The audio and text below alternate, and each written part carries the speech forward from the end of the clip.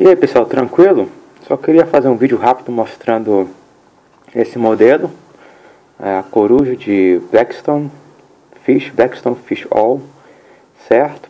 Eu fiz com craft, papel craft, 64 por 64 eu acho.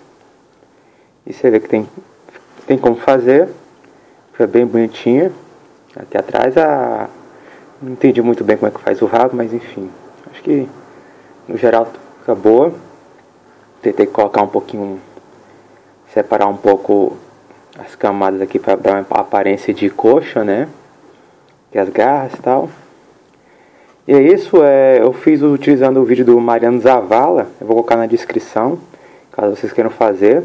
Essa aqui é a minha segunda. A primeira, essa aqui, que não ficou tão boa assim, mas mesmo assim, ainda com craft, mesma coisa, né? É isso, só queria mostrar esse modelo para dar uma atualizada, uma revivida no canal. Não estou tendo muito tempo para fazer vídeos tutoriais, perdão. Uh, e é isso, pessoal. Tudo bem? Então, até a próxima.